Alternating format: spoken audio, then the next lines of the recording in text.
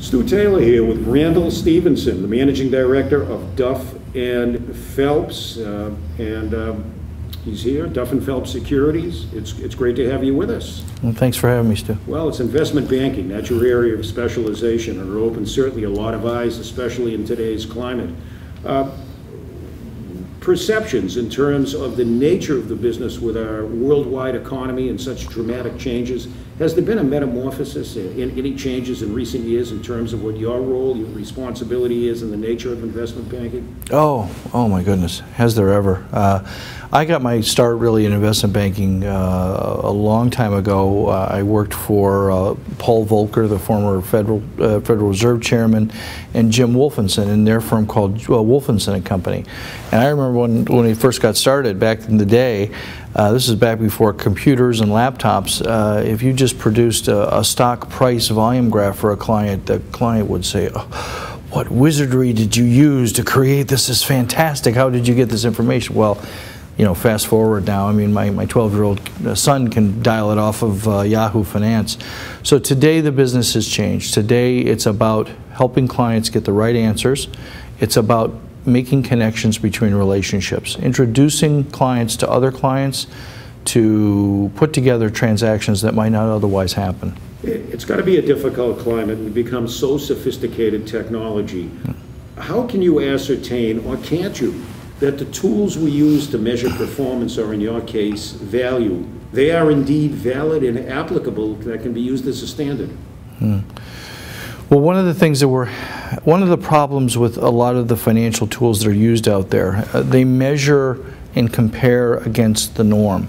Uh, whether it's uh, capital asset pricing mo uh, module, uh, whether it's uh, some of the other valuation methodologies that investment bankers use you compare the business to what is norm in the, in the, in the industry. Right now, with all the changes going on in Europe, with the rapid rise of India and China, it's hard to say what the norm is.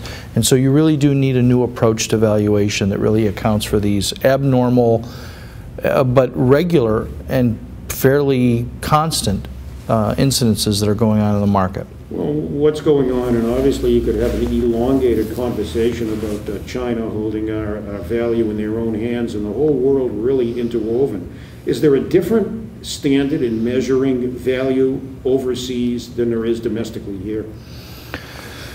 Let's confine that to the mining sector. I would say no. I mean, the value of uh, mining a mineral asset in the ground is is the same whether it's located in China or Ukraine or South America or Canada. Uh, but the value of that mineral generally in the marketplace, that is something that's evolving and it's evolving because of the disparate growth and demand equations that's going on in various parts of the world. We think back to 2002, Sarbanes-Oxley, corporate uh, responsibility, fiduciary responsibility, uh, corporate governance, and the fact that uh, we almost had an elastic effect. Too much constraint inhibits business. It does not allow CEOs to move out of their comfort zone and to try something that is that has a, a reasonable degree of risk in nature. Has that changed due to the, the temperament, temperament of the market, the negative reflections cast upon the industry as a whole, the banking industry, the investment industry, and the lack of confidence? Yeah, it's it's it's interesting. It's it's really a conundrum because on the one hand, I think many people feel that the excessive layer of your bureaucracy and reporting and uh, compliance that's been heaped upon some of these companies actually retards their growth. It retards their ability to seek out new opportunities and really maximize value for the shareholders. At the same time, with what we've witnessed in the marketplace, obviously there's there's a need for um, compliance. There's a need for review and for monitoring. And so to strike that balance is very difficult. Um, and I think it's going to be something we should continue to struggle with.